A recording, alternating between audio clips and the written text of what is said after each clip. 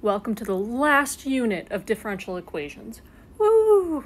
Uh, this last unit is a little bit Frankensteined in that we have a few different topics kind of smooshed together. This first video, 11.1, is going to form a little bit of background that will guide what we do moving forward. So this section covers orthogonal functions. We're going to start with a little bit of review. First thing I want to review is the inner or dot product. So if you remember, if we have two vectors and we dot them, u dot v. Another way to write that is if we write in parentheses, that means the dot product. And if you remember, what you're going to do when you find the dot product is you're going to multiply the corresponding components and then sum them up. So the dot product gives us a constant. A few different properties. If we have u dot v, that's the same as v dotted with u. If we have some constant k multiplied by our vector u, we can bring that out and find the dot product first and then multiply by k. If we have a vector and we dot it with itself and we get zero, that's only going to happen if that vector u is zero, is the zero vector rather. Otherwise, that dot product is going to be greater than zero otherwise. Again, though, that's only when we're dotting a vector with itself. And then lastly, if we have u add v and we're dotting that with w, we can also calculate that as u dotted with w add v dotted with w. So we are now going to generalize this inner or this dot product. So the inner product of two functions, f1 and f2 on some interval a to b, we can write it as f1 comma f2. And the way to calculate that is it's going to be the integral from a to b of f1 of x multiplied by f2 of x dx. Okay, and then a quick note is a definite integral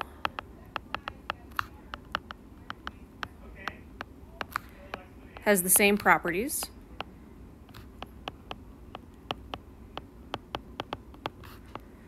as those listed above.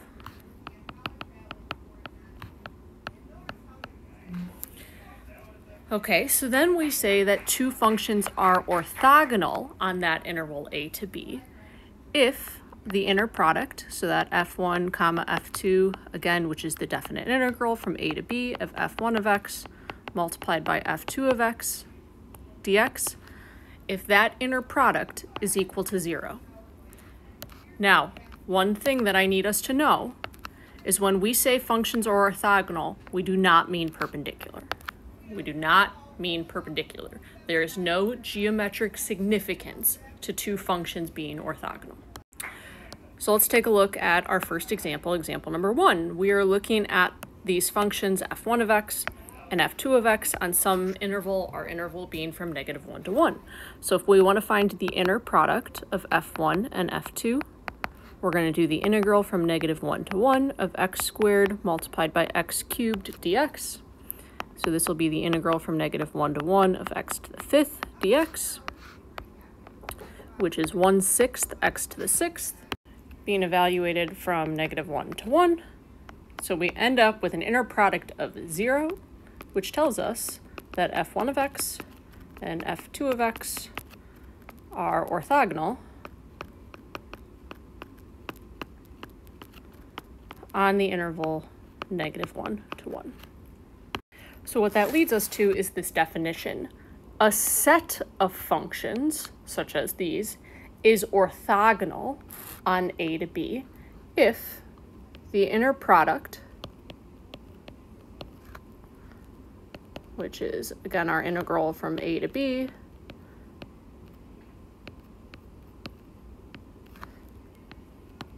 is equal to 0 for m not equal to n. So a set of functions is orthogonal if you choose any pair of them and the inner product gives you zero. So that needs to be true for every single pair. So then an orthogonal set of functions is said to be orthonormal if the magnitude of the function is 1 for each of those functions.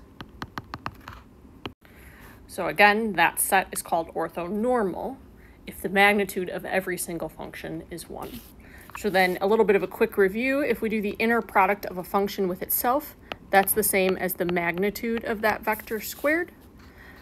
So where that leads us to then is the magnitude of u is the same as the square root of the inner product of u with itself.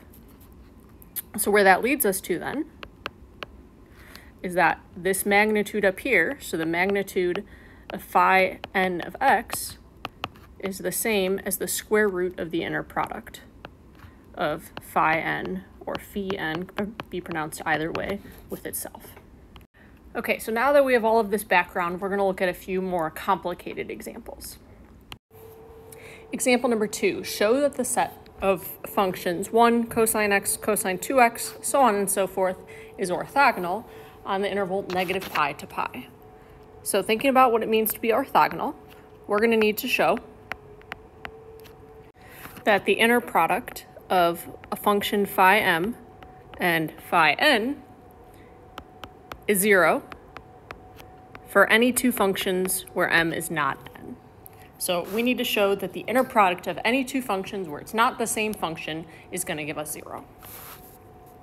So taking a look at what our functions are, our first function is just plain old 1. And then every function after that can be written as cosine of nx. So there's actually two cases that we need to show. Case 1 is we need to show that the inner product of the initial function phi 0 and some other function is 0, and that's when n is not 0. Alternately, we need to show that phi m of x and phi n of x, the inner product of those two functions, is also 0, where m is not equal to n. So again, what I'm writing here is if I'm looking at the inner product, there are basically two different possibilities. I could choose one and one of the cosines, or I could choose two of the cosines together. So this first case is one and one of the cosines. The second case is two of the cosines together. So let's look at this first case. We're doing the inner product of phi 0 of x and phi n of x. So this is going to be the inner integral from negative pi to pi of 1 multiplied by cosine of nx dx. So if I integrate, this gives me 1 over n sine of nx being evaluated from negative pi to pi, which just gives us 0.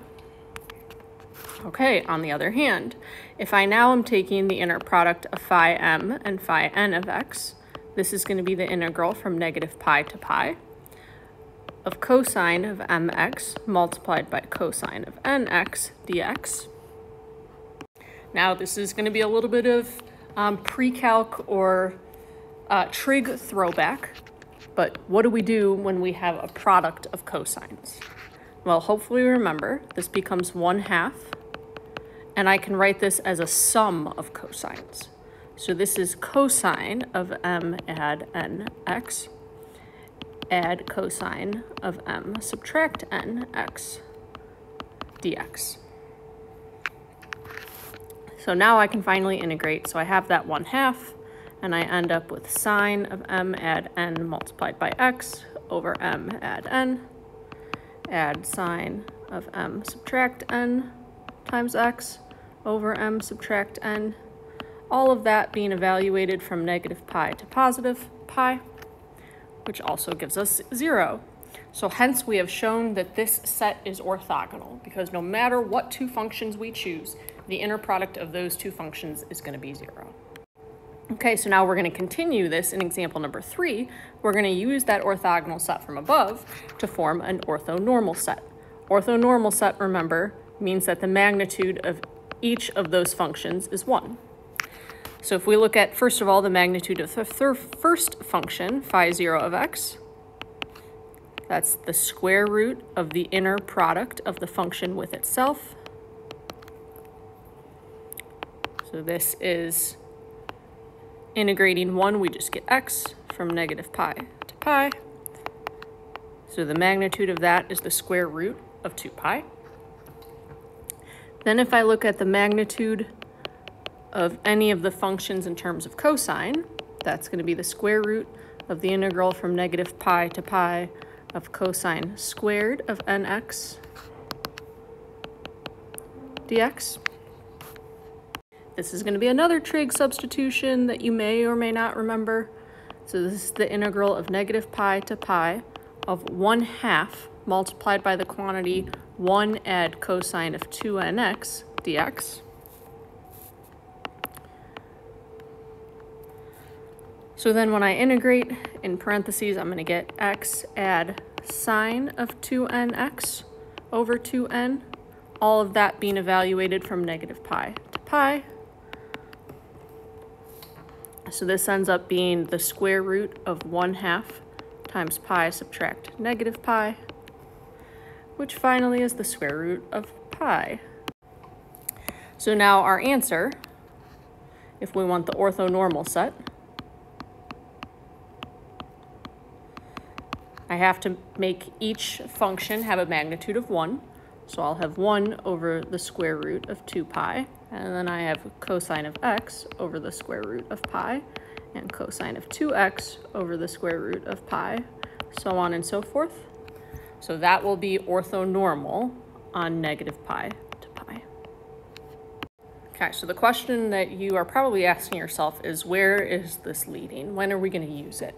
So our goal in later videos is we want to be able to expand a function in terms of an infinite set of orthogonal functions. So let's get a little bit of a preview of that. Let's say that we have some function f of x, and this is how we want to express it. So we're going to have some constant times a function, another constant times a function, and that phi n of x is an infinite orthogonal set of functions on some interval a to b. We want to find those constants c0, c1, so on and so forth, using the inner product. So if we take the inner product from a to b of f of x with any of those functions phi m of x, that will give us c0 times the integral from a to b of phi 0 of x, phi m of x dx, plus so on and so forth. Okay, on this right-hand side of the equation, all of those integrals are going to equal 0 because our functions are orthogonal, except in the case where m is equal to n, when we have the same function twice. So what that gives us then is that the integral from a to b of f of x of phi n of x dx, I just, instead of m, decided to use n. So that is going to be cn, and then the integral a to b of phi n squared of x dx. So this is just the inner product of some function with itself. So where this leads us to then is that c of n, so that's what we're trying to solve for, our constant.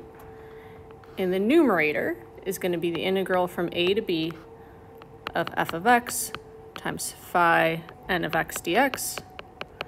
And in the denominator, we're going to have the integral from a to b of the inner product of that function with itself for n is equal to 0, 1, 2, so on and so forth. Okay, so now that we've derived that a little bit, on the right, I'm going to write that a little bit more formally. So expressed differently, we're going to write f of x as the sum from n equals 0 to infinity of c of n phi n of x, where our cn is equal to that. Or this can be written as f of x is equal to the sum from n equals 0 to infinity. The numerator is the inner product of f with phi of n. The denominator is the magnitude of phi n of x squared times phi n of x. So this is just that c of n. So again, this is just a preview of where we're headed with these orthogonal functions. So this leads us to our next definition. A set of real valued functions, phi 0, phi 1, etc., is orthogonal with respect to a weight function, w of x, on the interval a to b if the integral from a, b of wx times phi n of x multiplied by phi n of x dx is equal to 0 for m is not equal to n. We will assume that that weight function has a value greater than 0 on that interval a to b. If the set is orthogonal then with respect to that weight function w of x, then c of n is going to become, in the numerator, we'll have the inter integral from a to b of f of x times w of x times phi n of x dx. In the denominator, we're going to have the magnitude of phi n of x squared. And in that denominator, remember that is, it looks like magnitude, but really that is the inner product of the function with itself, which in this case includes the w of x. So then this note here, either series expansion, so either C of n, the one that we have on this page that has the weight function, or the one on the previous page that did not include the weight function, both of those expansions are said to be an orthogonal expansion of f, or what we call a generalized Fourier series. This Fourier series is what the next few videos after this one are going to focus on, is how we find a Fourier series, what is a Fourier series. So we have one last definition and uh, another example to complete the video. So last definition, the set phi of n's is said to be complete in the class S if those phi n of x, so if all of those functions, if that set contains sufficiently many functions.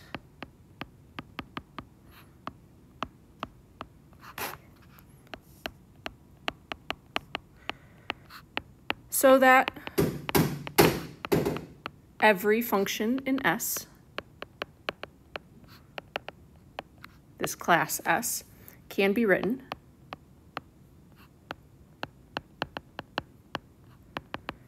In the form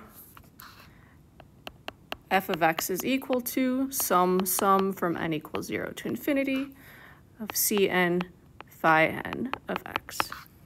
So in simpler terms, we're saying that a set of functions is complete in some class if every function in that class can be written as a series expansion of those phi of n's. For a set to be complete, the only function that is orthogonal to each member of the set has to be the zero function. So let's take a look at our last example. If S is the set of vectors in three space, then if we use V1, V2, and V3, they form a complete set in three space. And that's because, of course, any vector in three space can be written as a linear combination of these three. So that is the end of this video. Like I said, this was a lot of background covering inner product and orthogonal sets and orthonormal sets to lead us to this idea, like we said above, of a Fourier series. The next few videos, we'll be finding these Fourier series. Until next time, thank you for watching.